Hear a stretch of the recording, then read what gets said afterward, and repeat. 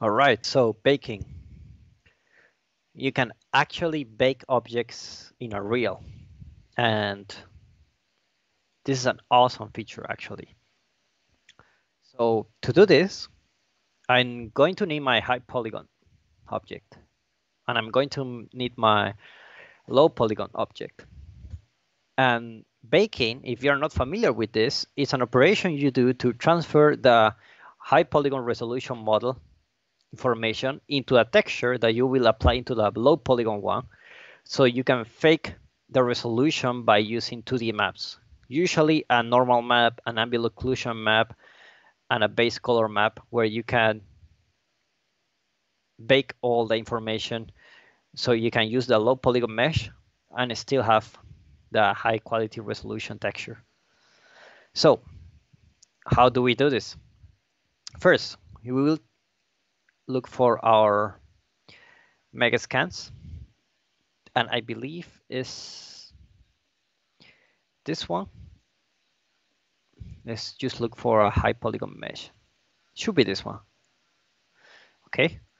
So this mesh has a lot of polygons. And you cannot see it because it's nanite, but if I go here and I uncheck this and apply changes, you will see that I have a lot of polygons. And this is very heavy. So what I will do is to duplicate this one and create a low poly version. Okay. And let's just assume you don't you know have the scan. So let's just see how uh, how you will do that locally inside Unreal using the methods I have just shown you. So notice that because my mesh is so high, so many polygons, it will take a while to duplicate the mesh. So this is my new mesh, exactly the same. So what I will do is to voxelize. I will do the VoxWrap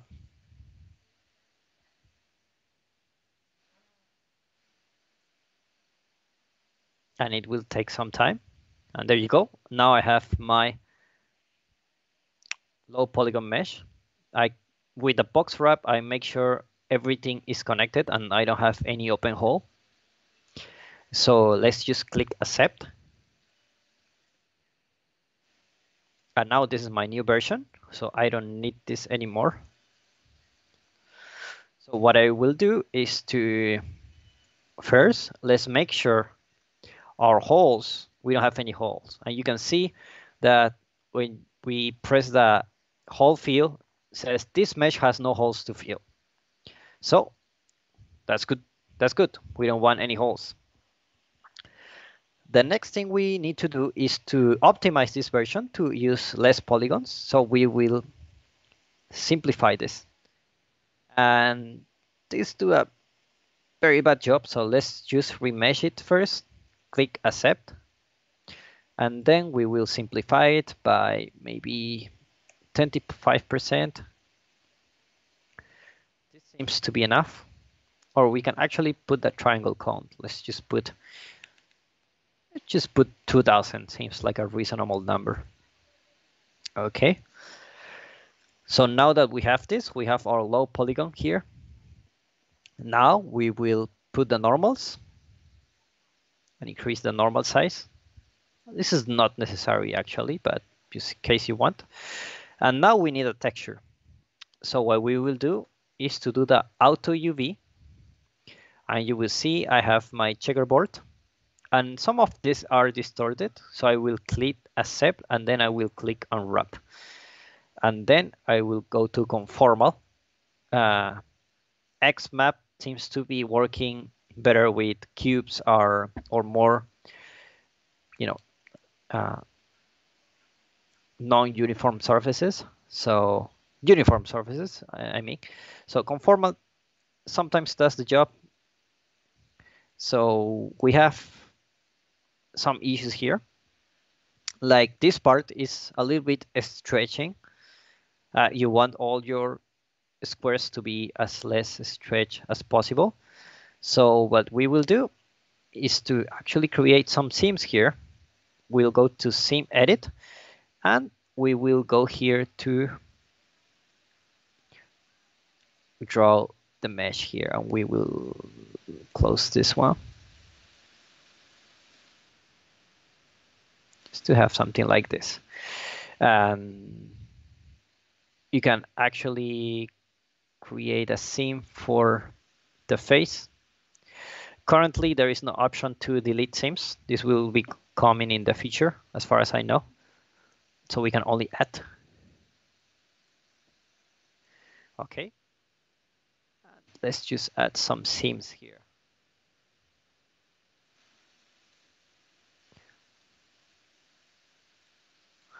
Okay. And another one here.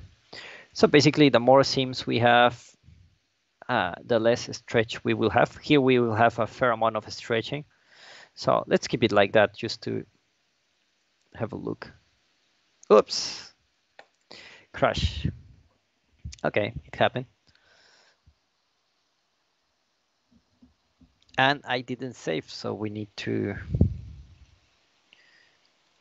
open our level again actually we can just use this one we can go to our megascans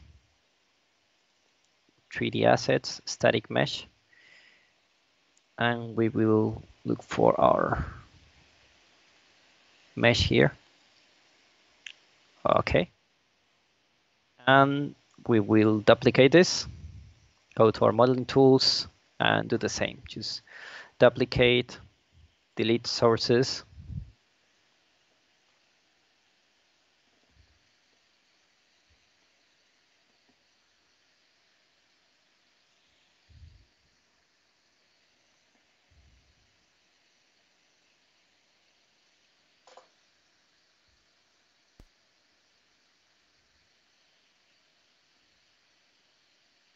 Almost there. Yeah. Okay, so now that I have this, let's go to our VoxWrap. Now, this one already has UV, so you don't really need to voxelize, but I'm just doing this for the sake of showing how you can UV your mesh. Otherwise, it wouldn't make sense. Just decimate this and that's it. You don't need to bake anything because you already have the textures. But if you're bring in data like scan data directly into Unreal, then this, this is a good way. So accept, this is our new mesh. Let's go to remesh again, accept. Now we will simplify this mesh. Let's just put like 20% or maybe just put a triangle count 2000. Okay. Now we have our low poly. We can auto UV, click OK, unwrap, and click OK. And now we have our UVs. And another thing that we need to do is like if we go to layout, we can actually see the layout here. Make sure your UVs are in zero to one space. Okay, so if we go to transform, you will see that by default, my UVs are outside the bounds of 0 to 1. If you want to bake, make sure you have the repack. You can change the resolution for 2048 to check the padding. And of course, you want your UVs to be in 1. So click accept. And now that we have our low poly, there is one thing we need to do is looks like we have some shading issues here. Uh, we will apply the tangents, click accept, and now we will bake. So we will click this one. First, click the low resolution model, click the high resolution model, and you will see that you have the option here under attributes, you can bake texture maps. So if I click bake, you will see that I will have my bake texture. Um, by default is 256 by 256. You can have the option to change this. Let's say I want 1K texture. Now this is much more higher resolution. And I have baked a normal map. You can see my normal map here, nice and crisp, with some padding here we're using. So by default, I'm using a visualizer to check how my normal map will look like. So if I want, I can bake the ambient occlusion. And this will take a little bit more time because ambient occlusion just takes more time. And this is my AO map. Or you can texture to the image. And by this, you need the texture of this one.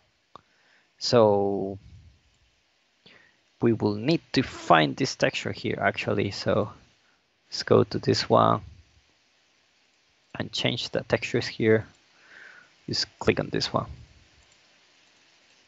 And source texture will be this one. And for some reason, it looks darker. I don't know why, but uh, it just happens to me when I bake. The base texture looks darker.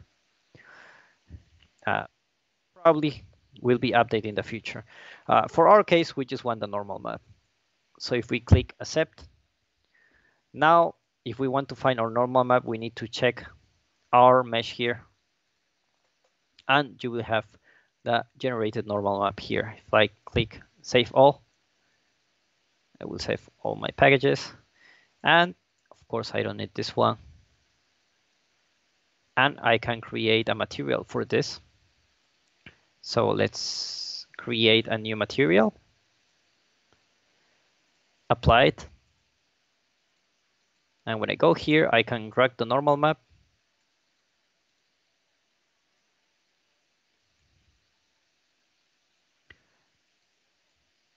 And I can change the base color. Let's just put something like this.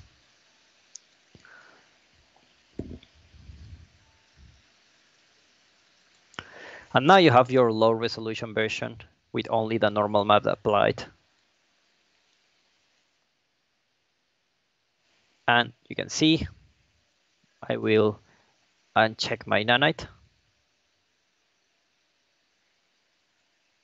See the difference here in how much resolution you have here and how much resolution you have here. Of course, Nanite solved these issues, but in case you're doing a mobile game or something like that, and you still need to go to the traditional route, you can bake some things here. There was a question about baking the mesh in, inside Blender or ZBrush that it may be better, uh, or what is your opinion on, that? Uh, I also think it, it's better. And definitely uh, i think that the tool is very promising. The way that you can be able to actually bake inside unreal. The good thing about this is that you can actually check how it looks inside the engine. Normally you will need to bake in marmoset or ZBrush or blender or any other 3d application and then you will reimport your mesh and check how it looks like. Mm, by that time, uh, we're showing this, the baking tools are not there yet, I believe. Uh, there is a lot of work need to be done. So I will still, if you want the highest, like the best resolution possible, the best quality, for sure, go for other 3D modeling package. Uh, However, I'm very positive about this that they will update in the future and it will just be a blast. I, am sure of it. This is just the beginning. Uh, for now, stick to another 3D modeling packages to get the best resolution and the highest quality. But this is just to show what you can do with the tools.